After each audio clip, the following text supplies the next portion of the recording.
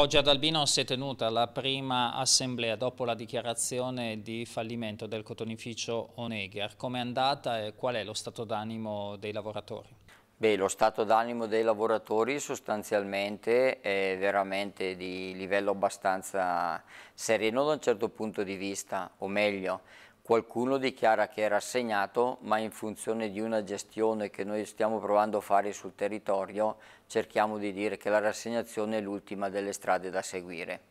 I lavoratori oggi comunque hanno fatto un po' di domande rispetto al loro futuro, su questo noi gli abbiamo detto che nella prima gestione cercheremo in tutti i modi di sollecitare ancora Confindustria Bergamo, tutte le aziende sul territorio per vedere se ci sono possibilità di assunzioni tenendo presente che dal 25 di giugno in poi tutti i lavoratori dovranno andare dai centri dell'ufficio per l'impiego, dovranno iscriversi come disoccupati e poi avranno a seguito la eh, possibilità di essere iscritti in mobilità. Le aziende possono assumere questi dipendenti con la mobilità con gli sgravi previsti dalle normative e da questo punto di vista diciamo che almeno per quanto riguarda il problema del licenziamento nel 2014 sono in vigore ancora le normative chiamate eh, precedenti alla normativa Fornero, alla legge Fornero, dove nel 2015 andre sarebbe andata a tagliare dei periodi di accompagnamento come ammortizzatori sociali. Questo per cui è un pezzo importante nella gestione. Non solo questo, all'incontro è venuto, sono, sono presentati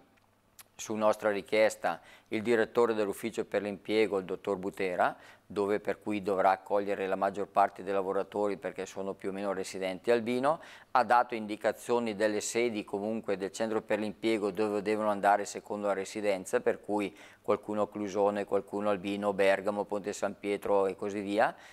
e da questo punto di vista l'inizio. Il secondo passaggio è stato anche detto che poi verrà fatta la procedura di mobilità dando loro indicazione del giorno, dell'orario e dove presentarsi secondo le sedi sindacali di riferimento come iscritti.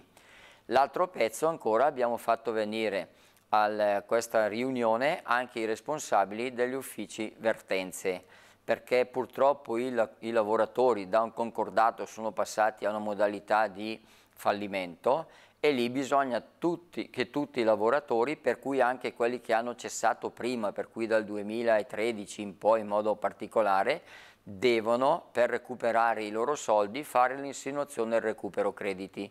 I nostri uffici vertenzi hanno predisposto anche lì, consegnato oggi, una modulistica a tutti questi dipendenti facendo sapere loro che verranno seguiti i documenti da produrre, poi verranno chiamati per mettere in atto la procedura e questo diciamo è un pezzo che riguarda questa gestione. Abbiamo anche sollecitato e dichiarato che faremo ancora dei passaggi in funzione, come si diceva prima,